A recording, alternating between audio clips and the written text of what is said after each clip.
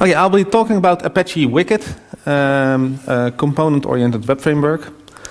This is the agenda. I'm going to introduce uh, Apache Wicket a bit, uh, and I'll be talking about our upcoming release, uh, 1.5, and then I'll take some questions. First, about me.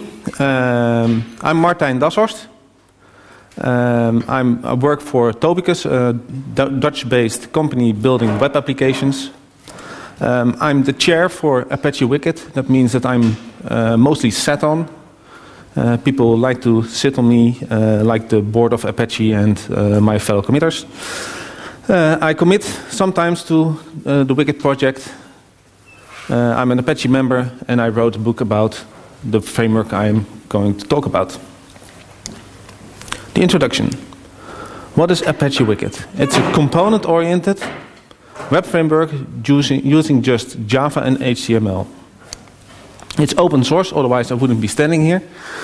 Um, Apache licensed, so anybody can do with it what they, whatever they want. It was created in 2004. Uh, I already said it's a Java web framework. It's component oriented, and you can find it at the, the URL uh, at the bottom. So, who's using Wicket? Anybody here using Wicket? Show, show of hands. Oh, not that much, many, so okay. Um, don't, don't, feel lonely. There are other people using Wicket as well. Um, AdScale, I never heard of it. It's a German uh, uh, ad company. Uh, it's in the Alexa top 2000 of uh, worldwide websites. I never heard of it, but apparently it works pretty well. Um, other websites, mobile uh, Walmart, the biggest uh, American retailer in the world. Um, a dating website, something for song texts, um, a portfolio for, for uploading your, uh, sharing your photos. Um, if you're a woman and over 40 years old, um, there's this uh, nice forum for you with uh, lots of interesting articles. Um, for the Dutch people here, um, eropuit.nl, it's a, a, trip selection website. It's Wicket based. Um, other Dutchies, the Marco Borsato, a very famous Dutch artist, his website is also built with Wicket. Um, if you want to go to Mexico, uh, this website is built with Wicket. Um, if you need to go more formal with a nice tie, you can buy them with Wicket. Um, in the late hours, you can play an online game using Wicket. Um, you can drink wine while you're playing. Um, if you run Windows, anybody runs Windows? Um, wow, one. Um, you can buy antivirus products with Wicket. And um, finally, if you want to go to Las Vegas, you can book your trip here. Um, but I can't tell you anything about it because when, uh, everything that happens in Vegas stays in Vegas.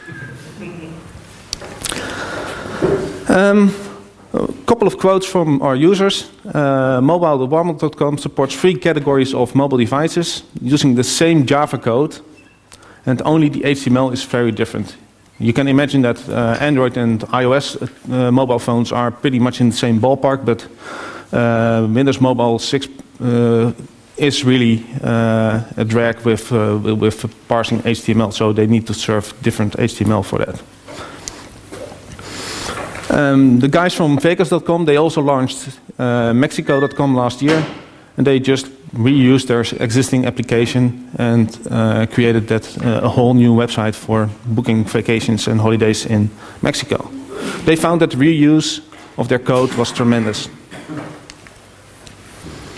So when I told you that what Wicket was, it's a component-oriented web framework and uses just HTML. So let's explore that a bit. Let's take create this sign-up form. Um, I took this example from Railscast. Anybody familiar with Railscast? It's a very nice online website where someone uh, makes videos, uh, screencasts of uh, building rails uh, small Rails components, uh, usually five, ten minutes times. it's really nice to, to get a feel of uh, Ruby on Rails. So if you want to make this in HTML5, the form would look something like this. Um, you have an, a header, a form, within it uh, some place to get uh, feedback messages from your users, um, an email field, a password field, and a confirmation box, and a button to submit it. Using Ruby on Rails, it would look something like this. You have uh, a special tag for uh, Ruby code um, where you have uh, for a user you create a form and if there are any errors you display this part etc. This looks a lot like JSPs. Anybody use JSPs? Ah, that's considerable people. So, do you enjoy it?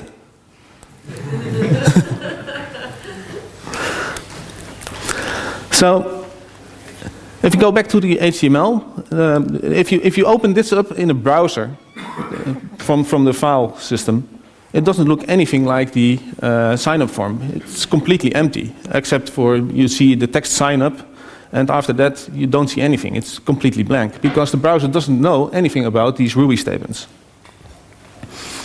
Similarly with JSPs, all this stuff that's uh, important for Java is not shown in the browser. So if you open up this uh, preview in your browser, it looks exactly like that. Now, with Wicket, we use that markup. We augment the markup with a couple of placeholder tags where we tell Wicket to do something. And if you open this up in the browser, it still looks like the same form. So Wicket uses this idiom to instruct to, to, to, uh, to, to get at the tags the markup that needs to be manipulated. In summary, if you have, uh, there are a couple of, there are two ways to look at your markup for building web applications. You have imperative markup, where you have code and, um, and markup intersected. And it's used a lot by Ruby on Rails, uh, JSP, Play Framework, uh, Velocity templates. And it's great for web developers. I always hear um, when people complain about Wicket, for, well, you can't do anything in the markup. Uh, what I'm used to. So um, there's a, definitely a lot of folks that enjoy working like this, and it gives quick results. If you if you run it, you you can work uh, pre uh, pretty fast. You, you, have a website uh, running. I find it the problem that code and markup are not separated. So conversely, we have declarative markup, and this is used by Wicket, pioneered by Tapestry, uh, and Facelets, uh, JSF framework, uh, uses this as well. But this is great for web designers. The people who mock up your web application, uh, the screens in Photoshop, uh, you can go from Photoshop to HTML, you can show that to your clients, um, once the client says, wow, that's great, Look, it's really snappy, it feels like you're almost complete. Uh, then you go and uh, create your web application from it. So you take that HTML, you put it in your Eclipse or NetBeans project, and you augment it with uh, the Wicket identifiers. And you start writing Java code. With Wicket, code and markup are completely separated unless, of course, you're doing JavaScript in the browser. That's, of course, uh, uh, inside your markup. But so just Java. If you look at the sign-up form, this is again the uh, Ruby on Rails template. Uh, you see a lot of code in there, and there's also a controller at the back that receives the, uh, the form input.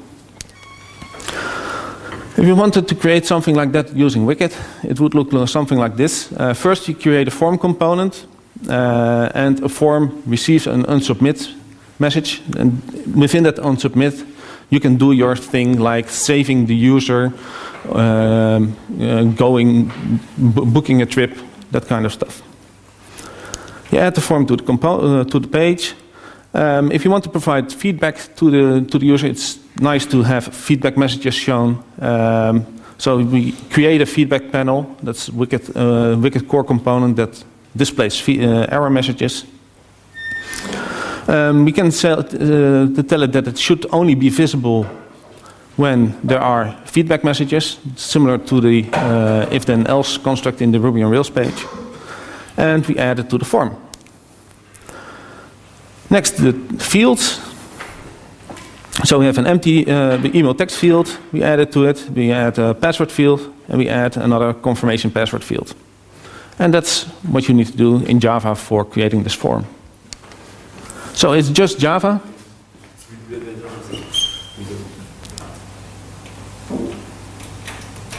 Okay. now really, don't fall asleep, please.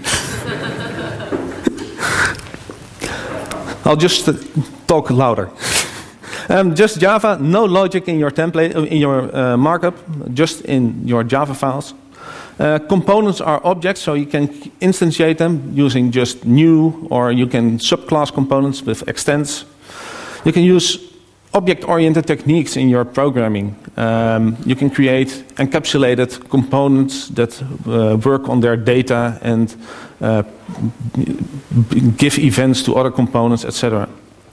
And um, we did our best to minimize the number of uh, XML files you need to uh, provide with Wicket. Uh, exactly one, and that's mandated by the servlet specification if you're running on JEEs before number six. So. No XML. Quickly, the concepts. We have components. Uh, components manipulate markup. They render uh, content. For instance, a label uh, manipulates the mark doesn't manipulate its markup itself, but it renders the content uh, you it. If you have a label that should show a name, it just renders the name. Components can also re receive events, uh, like a link. If you click on a link, you get an on-click event. Wicket has models, and with models you can provide data to components. Components need to work on data. A label needs to know what it needs to display. Uh, a link that deletes a user from your database needs to know what are what user to delete. Models also store data for components. For instance, uh, an input field needs to store the input provided by the user. But it also needs to render the value uh, that's coming from your database. So that's uh, a two-way street.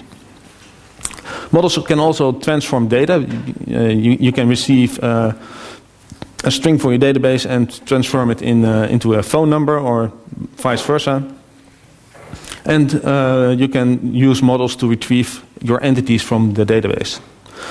Examples are model and a property model. The last concept I wanted to introduce are behaviors. And behaviors are decorators or adapters for components. They can manipulate the markup of a component without the component uh, knowing about it. Um, they can receive events. You can uh, receive an on-click in, an, uh, in a behavior. You can add Ajax functionality to components that are not Ajax aware. Uh, for example, you can create a label that just increases every time it's uh, uh, increases a count every time it's rendered using an Ajax self-updating timer behavior. You add it to the label, and the label will uh, continuously update itself. So, getting started. If you go to Wicket, uh, if you think Wicket, it's an arcane framework, nobody knows about it. Um, there's actually a, quite a community around it. Uh, we have, of course, our own project, Apache Wicket, uh, contains our core stuff, and it's all Apache licensed. Um, we have a Wicket Stuff project, which is a community uh, project where anybody can sign up and uh, publish their Wicket uh, components, libraries. Uh, there's Theme for Wicket, there's yQuery and jQuery integration, uh, lag before Wicket for creating, uh, quick, quickly getting started with uh, Wicket applications. Apache ISIS, domain-driven design web fra uh, framework that has a module for, uh, for Wicket. It's currently incubating in Apache. Uh, Jolira tools, that's a component library for creating stateless web applications with Wicket. it's power, it, that powers the, the mobile website for Walmart. And Visual uh, Wicket also uh, lots of standalone components that are not dependent on a particular Java framework or JavaScript framework. Apache Wicket projects, uh, we have core, that's the core library where all the functionality in it uh, exists to uh, make uh, your Wicket applications. Extensions contains additional components, richer components, uh, things you don't need directly to create your own application, but most people typically use extensions as well. We have a quick start to get to running fast, integrations with Spring and Guice, a date picker, uh, a project to use velocity templates, markup templates in your Wicket application, uh, small authorization and roles uh, project um, to, to create secure applications. And uh, finally, the examples display almost any component in our uh, uh, that's hosted at Apache. When I told you that Wicket stuff is community hosted, well, you can see how many projects there are. Um, this is, these are all top level projects. There are uh, some sub, sub stuff as well. Um, there's, for example, a uh, Java EE inject, so for the dependency injection uh, JSR. So if you want to get started with Wicket, we provide a nice page, the quick start page, uh, and you can generate a command line for Maven. Who uses Maven? Okay, quite a lot. Who enjoys it? Uh, the half about it. Okay. I enjoy it most of the time. Um, so if you go to this page, you can uh, fill in uh, a couple of things, your group ID, your artifact ID, the Wicket version you want to use, and you copy paste the command line. So you, run, uh, you open a DOS box or uh, uh, a terminal window, you paste in that command, and you really don't want to type this in. Um, you press enter, Maven does its thing, uh, starts logging uh, like crazy, and you can then uh, run the quick start application with jetty.run. Um, you press enter, you get this nice console, and finally it says started Jetty server. You open a browser, you go to uh, localhost colon 8080, and you get presented with this nice, helpful page. And from that on, moment on, you can start running uh, hacking on your Wicket code. It's quite nice project to start uh, to start developing or to spike small stuff. If you want more, um, there's this uh, project called uh, LegUp, and they provide uh, integrations with uh, quick starts for Wicket with Spring, Guice, JDBC, JPA, Hibernate, and Scala. So if you want to learn more, um, there are a couple of books uh, in German, uh, Japanese, uh, and English. And I think there's someone trying to port uh, to, to, translate one of the books into Portuguese. So if you want to learn more about these books, um, it's uh, they are uh, at the website. Some quick examples. Um, first, Hello World the infamous uh, example. So if you want to display the hello world uh, text, we create some markup displaying hello world. Uh, we want to replace the text hello world. So first thing we do to make it Wicket enabled is to add the Wicket component identifier. Um, in Java code we add the label to the page with the same component identifier and the text hello world. And voila, it renders hello world. A more complex example, not too complex. Uh, a link counter, a counter that uh, a link that counts the number of times it's been pressed. So we create the text, we add some uh, markup to for, so, so, we have a link. We add uh, span so we can update the uh, the text. We provide it with wicket link uh, identifier and the label with another uh, identifier so that Wicket knows about them. In Java code, we create a page, uh, a constructor. Uh, we provide it with the number of times the link is clicked. Uh, we create a link. that when clicked increases the count. We provide it with a label um, with the ID clicks, and that binds its output to uh, the clicks field using a property model. The property model provides the data for the, uh, uh, for the label. And we're done. Uh, Wicket is a nice framework for developers. Uh, there are two modes for, uh, for, running your application, development and deployment. Uh, if you run in development mode, which is the default, you get this nice big red error message on uh, standard error. And uh, you shouldn't deploy your applications using the development mode because development mo mode is particularly tuned for developers. So you get nice error pages showing huge stack traces uh, you get dynamic markup reloading. Uh, so if you modify your, your markup, uh, the markup gets reloaded into the uh, final page. Um, there's no caching enabled. The CSS and JavaScript are not optimized, so they're not minimized, they're not compressed.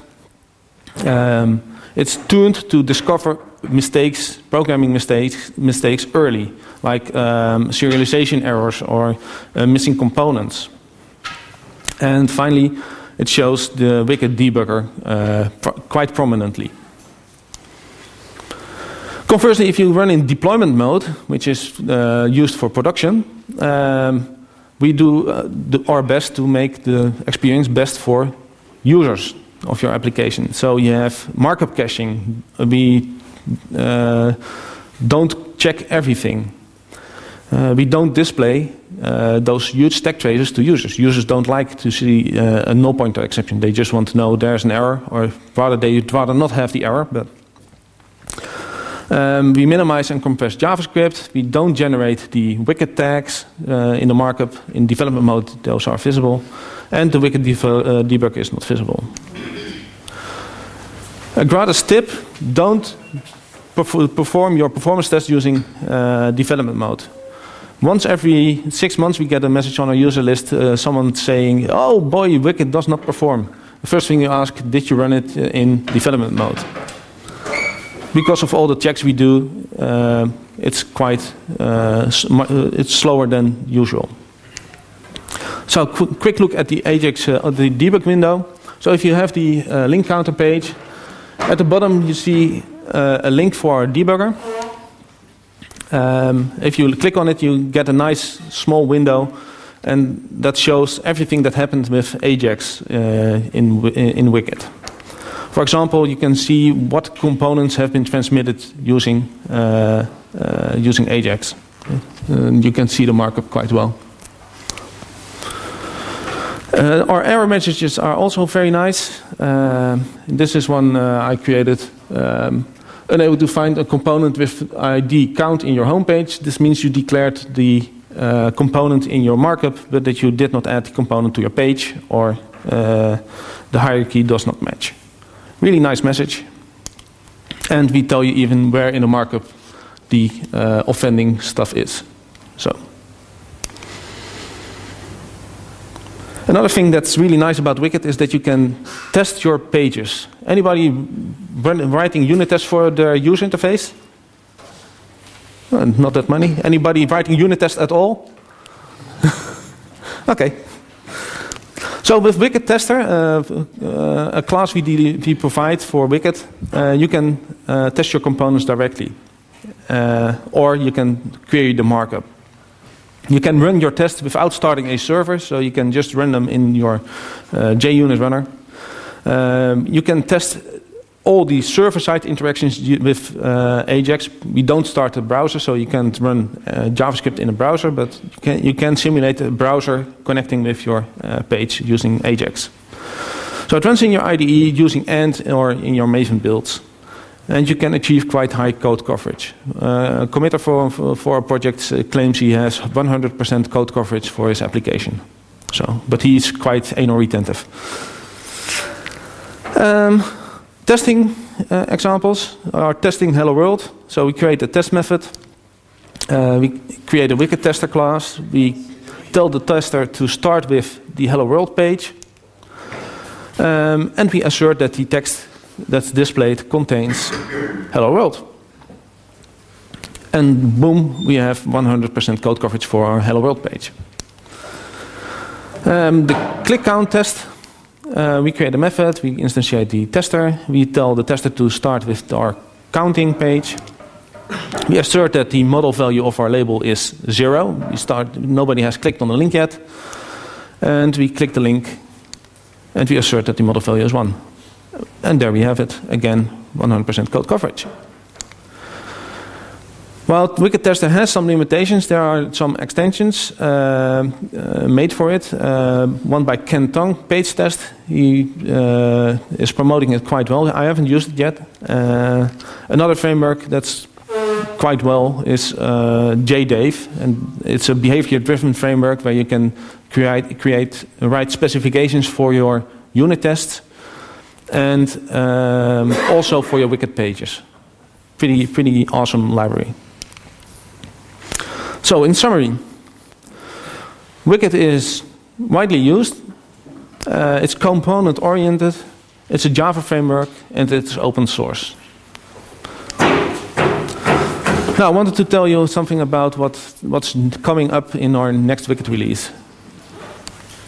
First of all, we have added some HTML5 support. It's not uh, the best support there is, but if, if you use a current Wicket version, um, our checks for valid markup don't work that nicely in combination with uh, uh, HTML5.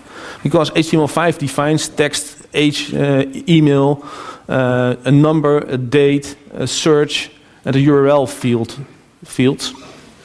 Um, that's those nice fields you get uh, on your mobile device, where you have a special keyboard for numbers or for uh, URL or for an email.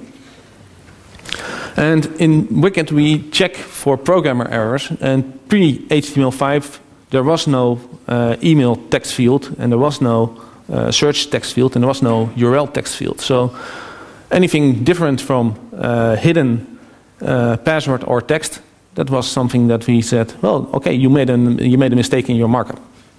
So that's, that's not very nice. So in Wicket 1.5, we provide text fields for those uh, components, and we're going to see how we can expand this using uh, uh, the validations that are, in, that are available in the browser as well uh, and other stuff. But that's probably post Wicket 1.5. First, we wanted to get the support out there and then do, do our stuff. Then, then improve it. Wicket 1.5 has been quite uh, long in development, and, but that was mostly because we tried to uh, optimize our internals or improve our internals. One of the things you'll note as a Maven user or an end user is that we split up the core library. Um, old we just had one big jar file called wicket.jar. And in the new world we have wicket requests, util, and core. Um, we split that up because we wanted to uh, untangle the uh, request processing uh, the code was quite convoluted. Everything could uh, uh, connect with anything. so we wanted to make it a nice, clean, separated bunch so it would be much easier to maintain. So if you're a Maven user, um, instead of depending on Wicket, you should depend on Wicket Core. Uh, if you depend on Wicket extensions or Wicket uh, Spring, you'll get Wicket Core automatically. So we simplified our request cycle. Um, in Wicket 1. pre-Wicket 1.5, um, decoding request handling was done in a state machine.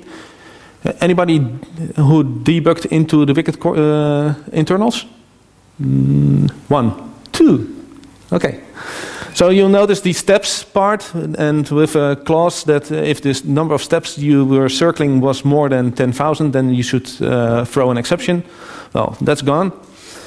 Um, so debugging was interesting. Um, the pre-Wicket 1.5 request cycle was designed for flexibility. We didn't know what you wanted to do with uh, with Wicket or what were the possibilities, so we made it quite flexible.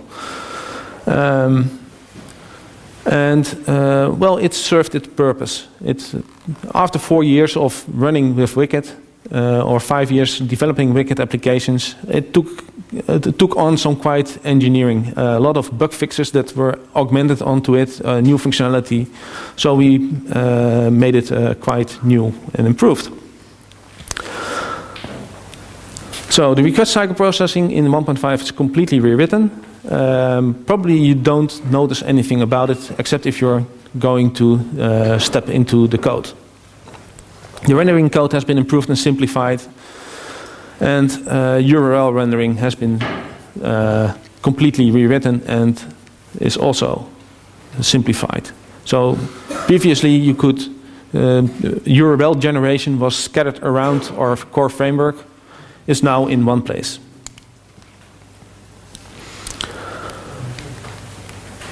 One thing you might notice is if you have uh, your own custom web, uh, custom request cycle class, um, that's no longer, it, it's still a possibility, but it's better to use uh, our new feature. If you have a custom request cycle, you have to extend from a web request cycle. And that became problematic with some add-ons. Like if you have a Hibernate request cycle that's, that's similar to the uh, open session in view filter. So at the start of the request, you open an Hibernate session. At the end of the request, you throw your session away.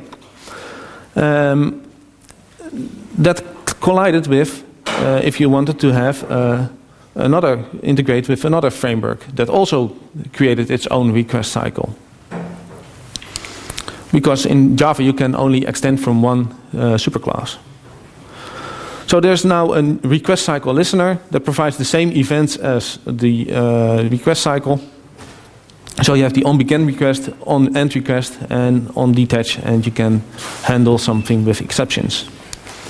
So you can add them to the, uh, uh configure them in your page, or in your application, uh, at the init, so you add a new request cycle listener, uh, new I request cycle listener, etc.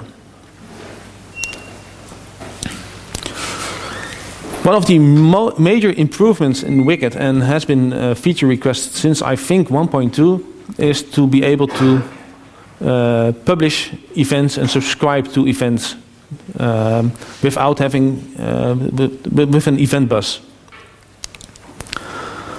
So in 1.5 we now have a component event bus. Um, we have an interface, i event source. Those are objects that can send events. And we have event sinks that can receive events. The particip participants from a Wicket Framework perspective are components, the request cycle, the session and the application.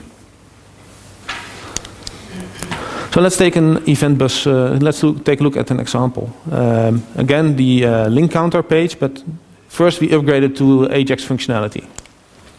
So here we have the Java code, uh, where we left it. First, we tell Wicket to output a markup ID for our uh, label. Otherwise, you can't update it using Ajax using document get element by ID and replace the markup. Next, uh, we make the Ajax link, uh, the link an Ajax link, and it gets an uh, Ajax envelope. And to the uh, Ajax envelope, we add the uh, count label. Now, this is in, uh, currently in Wicket 1.4 the way to do Ajax. And if you wanted to do uh, uh, make the link unaware of uh, the other components it needs to update, then you need to provide some code your own. So, pre-event bus, it's pretty. Um, it's not that nice that you that link needs to know which component it needs to update. If you want to add another component to your page, and someone is not aware that the link should update it, well, that's that's uh, that's hard. It makes maintainable uh, makes makes code brittle and harder to maintain.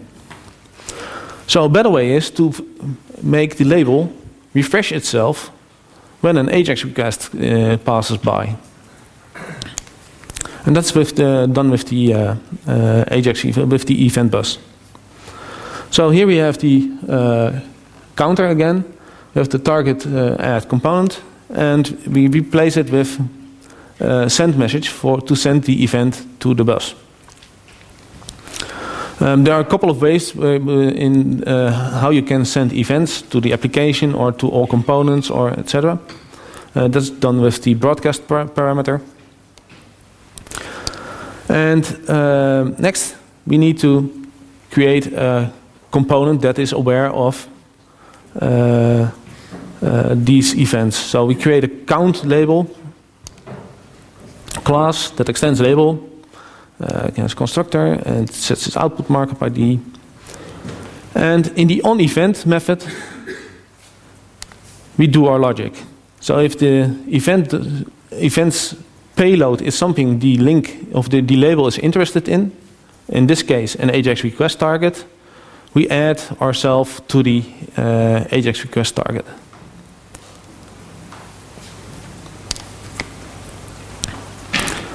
So now that we have an event bus, um, we can see it, it's a bit more code. You need to create your own uh, class, your components need to become aware of the event bus.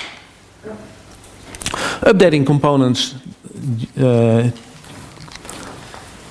takes uh, uh is now completely de decoupled.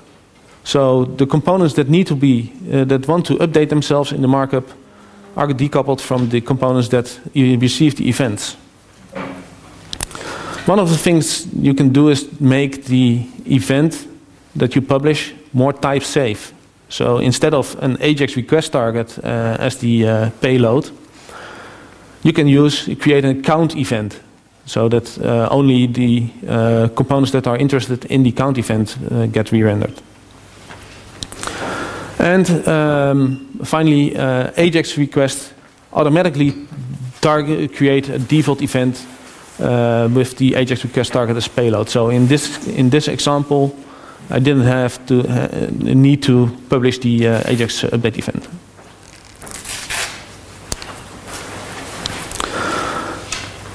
And this is just the surface of the stuff that uh, has been changed in Apache Wicket 1.5. Uh, there's a complete migration document where we pu uh, publish all the APIs that have been changed, all the deprecations that have been removed, um, and lots of lots of other stuff that's that has changed.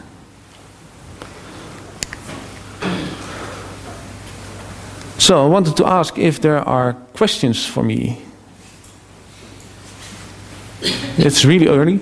Uh, I don't bite. What's the threading model behind the event bus? Are these events distributed synchronously or is there a queuing mechanism? How does it work? Um, the question is, uh, is there a threading model behind the event bus? Um, the event bus is, um, if you have uh, a request going into Apache Wicket, um, the uh, the, the, for, for one user, for one request, there can only be one uh, request happening for a particular page.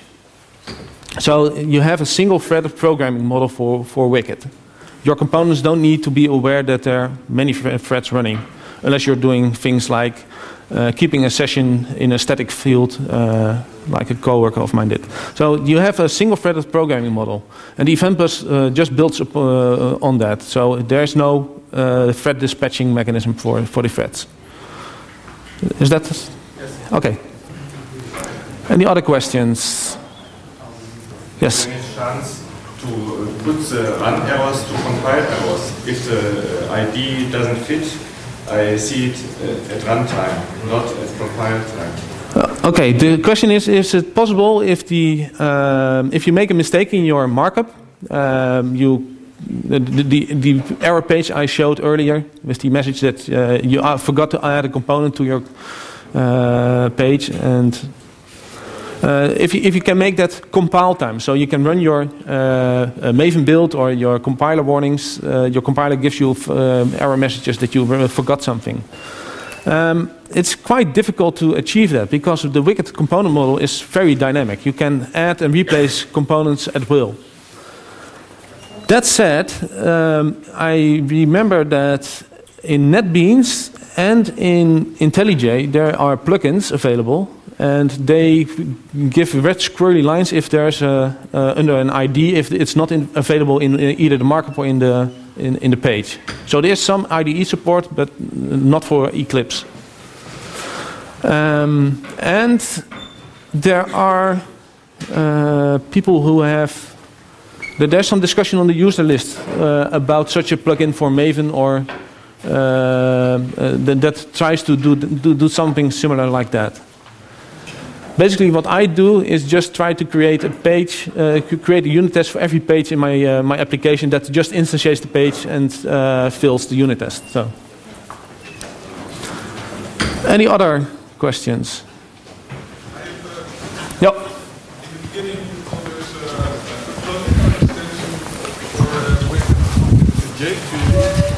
Yeah? I was wondering how, how does it combine? Because with Wickets you control the, the, the page flow and the dynamics from the server by, uh, yeah, by getting all the click events. Whereas in uh, jQuery application you control everything from within the browser. Okay. So in the beginning, I, I, I said that there was a, a, a jQuery project for integrating uh, uh, Wicket with uh, jQuery. The question, repeat the Yes, yes, yes, yes. So uh, the question is, um, how uh, how does that work? How can you integrate jQuery, which is a JavaScript client-side library, with Wicket? Um,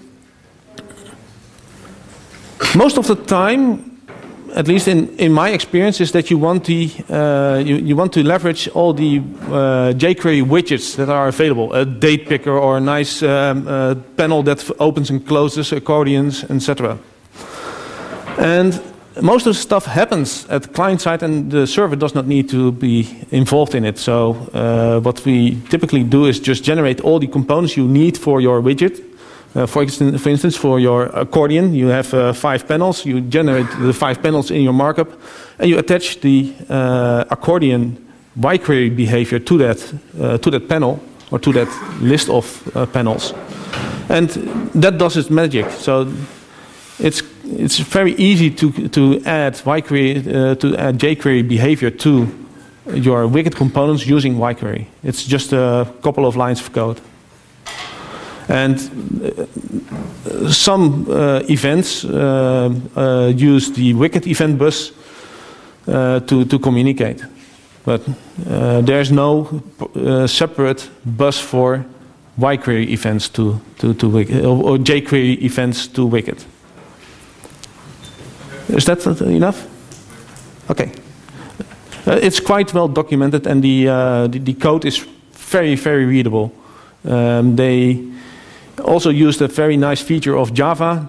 You can use the dollar sign as an identifier, similar to JavaScript. So they, they've used the dollar uh, uh, identifier for uh, using uh, uh, components. So, any other questions?